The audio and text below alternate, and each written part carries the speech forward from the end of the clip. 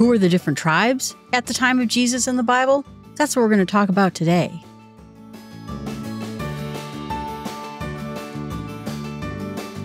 Religion says, earn your life. Secular society says, create your life. Jesus says, my life for your life. Timothy Keller. Today we're going to continue our conversation about the people groups in the Bible in the time of the New Testament. We're going to back up a little bit and talk about some of the tribes because who the tribes are affects who the people are in the New Testament. Believe it or not, Judaism has this huge train of history where people kept track of what tribes they were from, what people groups, the land that was owned, all the way back from the time that Israel was established as land for the people of Israel. So backing it all the way up to the land, Joshua takes over for Moses. And at that time, the 12 tribes were given land. They are all the sons and grandsons of Jacob.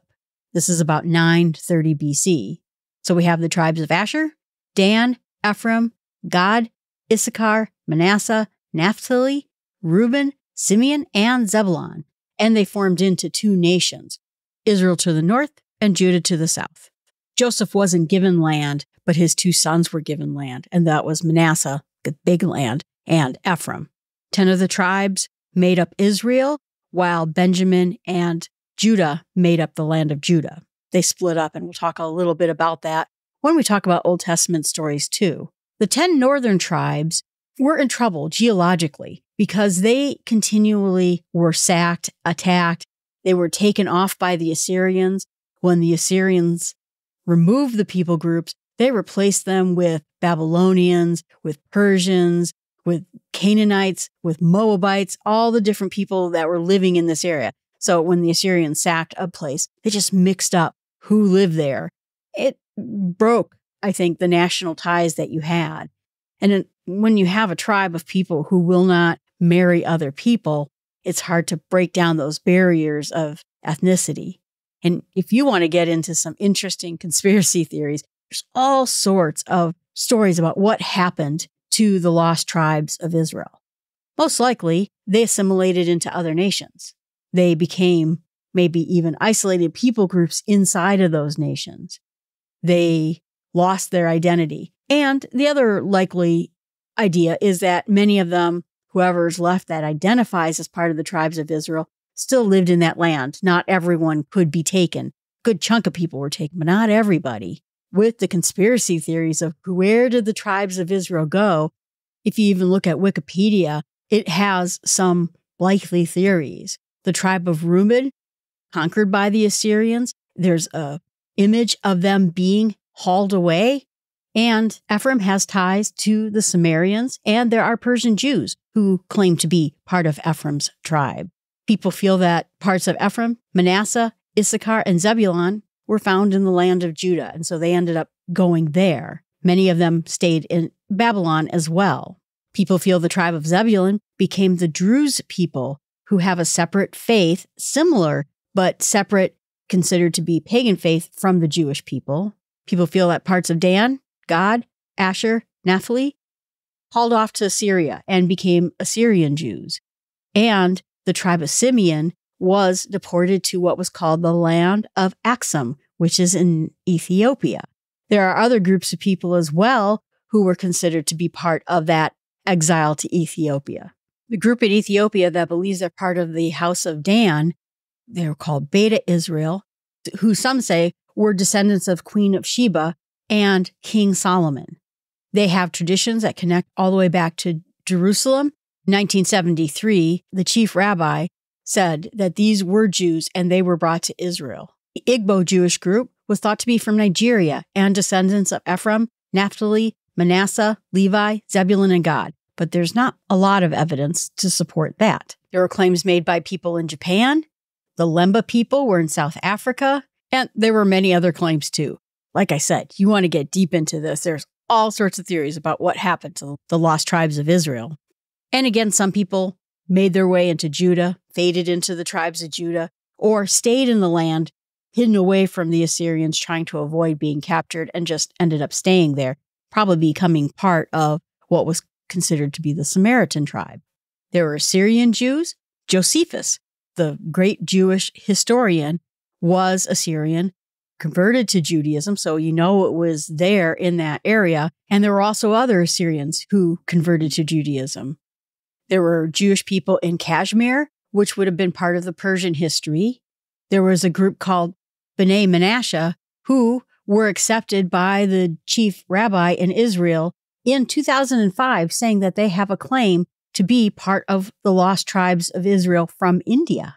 There was a group called B'nai Ephraim, I'm assuming B'nai means son of, called Telugu Jews, who said they descended from Ephraim. They say they traveled from Israel to Asia, Persia, Afghanistan, Tibet, and into China 1600 years before arriving in southern India more than a thousand years ago. But because they only have limited Jewish heritage and they were practicing Christians after Baptist missionaries arrived there, they were not accepted as part of the tribes of Israel. And in more modern times, the Mormons thought American Indians were one of the lost tribes of Israel. When I was in Israel during my archaeological dig, we had workers on our dig site who were Ethiopian Jews hoping to gain citizenship, not just refugee status inside the land. It was really interesting to talk to them because they had really detailed stories about their history, how it went all the way back to the Old Testament until today. But like I said, this area was always under attack and under threat. And that wasn't the only sack. There was also the Babylonians who also took areas and took people groups. And it was hard for the North. Obviously, when you're being attacked all the time, being overcome by people, nations that were around, it's hard to maintain your identity. And then the southern area of Judah, which was made up of Benjamin and Judah tribes, they had a little bit more natural protection just because they were farther away. But then when they got exiled to Babylon, they were returned. And so they retained their people group. You know, they were able to then see themselves as an identity together as compared to the northern tribes that just had trouble time and time again. People also had the vibe that if there was going to be the Messiah that was going to come and rescue them, it was going to come from one of these lost tribes coming back to their nation and taking it over and restoring the nation of Israel and Judah entirely. It's even more fascinating now that we have DNA and we can see certain people groups. I was just reading a paper about the different people groups inside of Israel they have still today a very tight DNA group. In fact, they were saying that people who were Ashkenazi Jews, which is what I grew up as, are all related to each other within six degrees. The genetic cohesion of the people group is different than every other people group in the area, and also same among themselves. They also see that when they find other Jewish groups in other nations. The genetic ties are deep, and they aren't closely related to the Canaanites, the Moabites, the Phoenicians, and other Arabic people groups. They are their own unique group. So, from the map point of view, Judah again is going to be in the south, and it's going to include places like Hebron. Simeon was also in their land towards the very south, and it was near what was called the wilderness of Zin. It was very far south, close to Edom, which was where the Edomites lived. Benjamin was a very tiny nation that was towards the north and included Jerusalem that made up the southern tribes.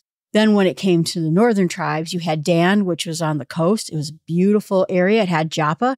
And Joppa is where they think that the story of Perseus, where he's rescuing the woman who is chained to the rock, took place there. It is a little farther north than where I was, which was in Ashkelon, which was part of the Philistine land. If you think of David and Goliath, if you think of Samson and Delilah, my area was Ashkelon North of that was Ashdod, and north of that was the area of Dan. Just a little bit north of that is Ephraim. And then comes the big land mass of Manasseh. Manasseh was the very largest part of the 12 tribes of Israel, and it had smaller areas for Zebulun, Issachar, Asher, and Naphtali. And those were more towards what would be in Syria today and where Jesus went to in Tyre and Sidon. Gad, Gad, and Reuben, and they were on the east side of the Jordan River, as was part of Manasseh as well. And that would be where Jordan is today. And after these nations got sacked time and time again, again, some of this area later became Phoenician, became Greek. They started building the Decapolis, which was Greek cities in this area. That is further south than Galilee, which we talk about in the Bible in small steps where we're doing Matthew. But Samaria was a group that was just north of Jerusalem, but just south of Megiddo, very close to Megiddo. And people avoided it because these are now become two people group that really don't like each other very much, even though they have amazingly close ties. The land of Samaria includes where altars were built by Moses. And so that's where they considered that to be the holy mountain, while the tribes of Judah considered Jerusalem to be where the temple should be at, because that is where Solomon built the temple. So they even have wars between the people groups about where God's holy spot was. So let's talk a little bit about the Sumerians. This is what is made up of the remaining lost tribes of Israel or the northern tribes of Israel. And they call themselves the children of Israel. They believe themselves to be Israelites in Samaria. And there was even a city of Samaria, which is how the region itself got its name. The town itself is called Shemer or Shamir, and it was built in the 12th century BC. And because it was sacked, the people groups were replaced. They also got exposed to gods of other nations. And so they had a series of very bad kings. And it all comes with King Ahab, slaughtered religious, dedicated Jewish people. He also practiced in child sacrifice. This is, this is where we get the story of Jezebel, who also brought in paganism and brought it into the land of northern Israel, Samaria as well. And the area of Samaria was ended when it was attacked and taken over by Greeks. Herod the Great retook the area and gave it an honor to Augustus. The name itself means the watchman. I'm sure they felt like the watchmen on the gate because they were the ones that had to guard against all these nations attacking them all the time. Today, they still consider themselves to be the people of Israel, the children of Israel. They don't see themselves as anything but. Josephus talked about the people of Samaria interchangeably with other people that lived up in that area. And you'll even hear about it referenced in the Dead Sea Scrolls. They talked about the Samaritans there as well. So some of that separation happened in the time of Ezra when they started really looking at each other as different people groups instead of just one nation of God's covenant. They also believe to have had the Ark of the Covenant or a duplicate of the Ark of the Covenant. It's where the Ten Commandments were left in the hands of the Jewish people. They carried it around inside of the Ark. You can see Indiana Jones talks about the Ark of the Covenant. They're mentioned in the Talmud and in Josephus, and they believe that they are true Hebrews. They don't see themselves as a different group. In Second Kings, Judah already started describing them as foreigners because again, they were mixed up by these nations that took them over. So the level of distrust grew greatly by them. And they also fell deeply into traps of paganism. This is where Elijah would fight the Baal worshippers. And it's where Elijah tried to show them God's power as compared to the Baal false god.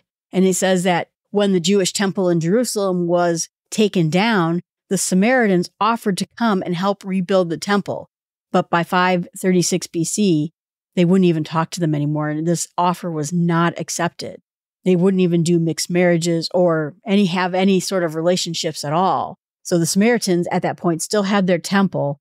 But in 130 BC, John Hyrcanus was part of the Maccabees and destroyed the Samaritan temple. That was the end of their temple now, too, because they felt they had compromised too much to paganism under the Greeks. They had a temple of Zeus at the same location, and that was it.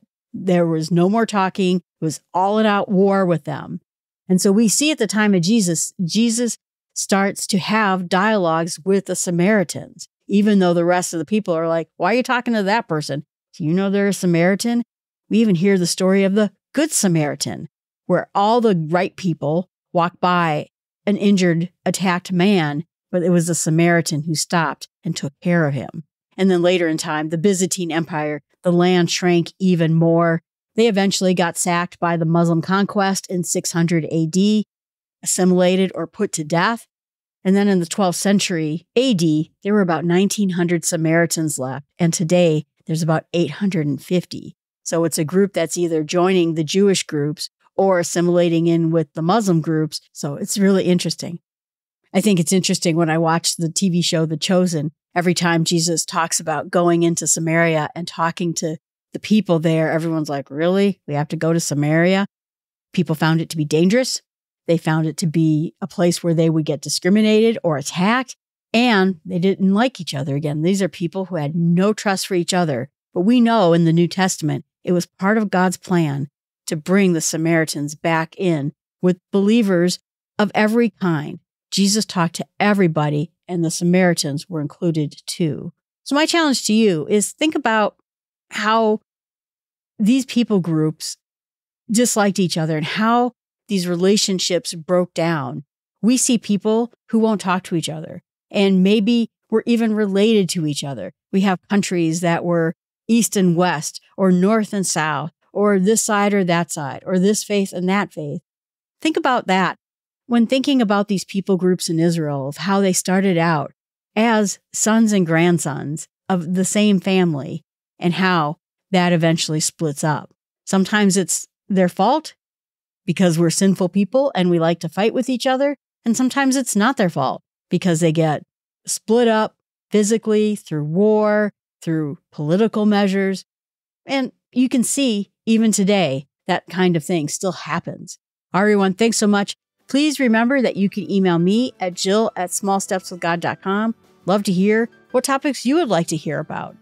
I'm finding it interesting to take some of the topics out of Matthew and do entire deep dives into that topic inside of this podcast. So the two are somewhat related, and you can find the Bible in small steps in most podcasting applications. If you were listening to the Bible in small steps and it stopped working after episode 12, that is because I moved the website over to its own website and changed the feed address. That worked in almost every podcasting app out there. There are a few that it broke the chain, and all you have to do is delete the podcast, re add it, and then they'll start populating again. All right, everyone, thanks so much. I appreciate you listening. And remember, our path towards reconciliation to other people starts with long, small steps.